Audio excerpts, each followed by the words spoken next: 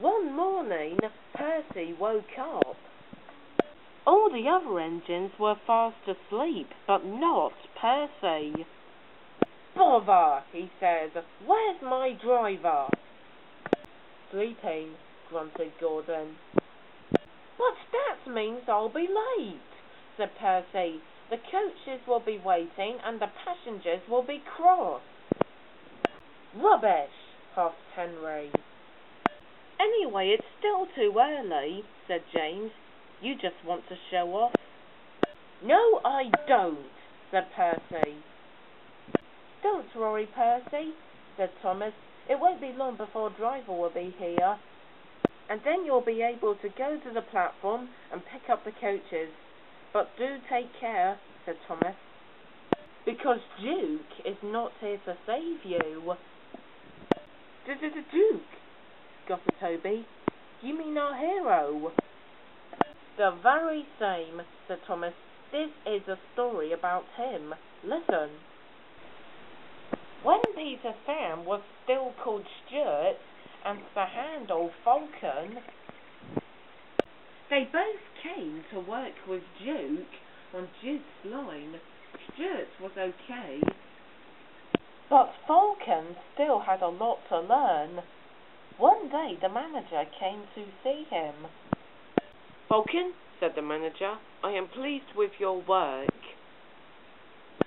Now you must learn the difficult part. We call it the mountain road. Falcon was excited. So tomorrow, continued the manager, you will go on it. And Duke will explain everything. Falcon wasn't happy. Duke's an old fusspot, he thought. The next morning, Duke spoke to Falcon. Listen, warned Duke, the mountain road is very steep. I'll lead. No, said Falcon crossly, I'll lead. How can I see the track with you blocking the view? Suit yourself, said Duke, but never mind the view, look at the track. Soon the engine set off for the mountain road. Look at the track, said Duke. Never mind the view. Fast pot, fast pot, said Falcon. Foddy doddy, foddy doddy, foddy doddy. The train grew slower and slower. Don't dawdle, don't dawdle, urged Falcon.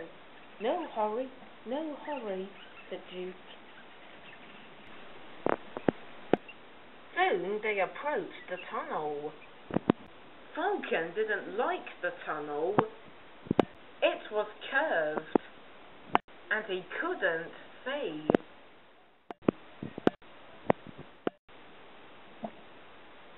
I want to get out, I want to get out, he urged. All the while, everything was safe. Then suddenly,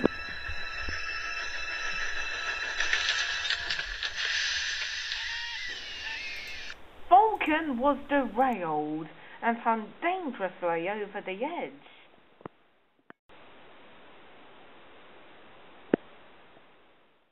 Duke held on with all his strength.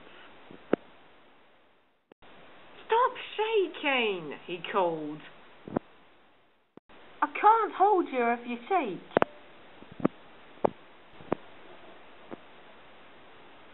The workmen quickly attached strong ropes to make sure the engines were safe again. Then came more trouble.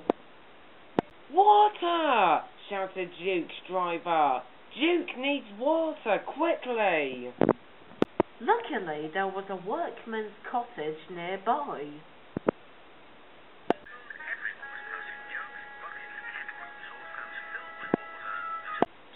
thirst was quenched, all the while. Then, with all his puff, he managed to pull Falcon back onto the rails.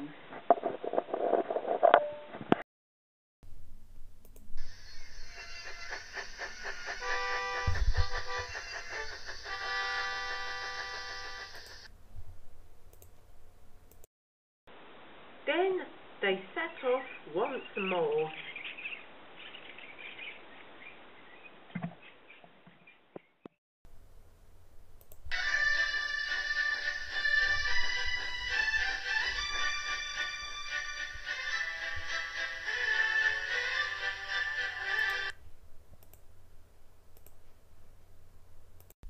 The manager was waiting at the top station.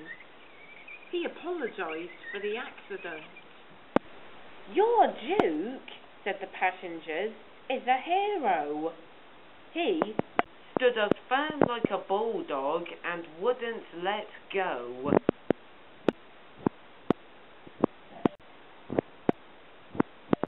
Falcon also thanked Duke as well. Thank you for saving me, he said.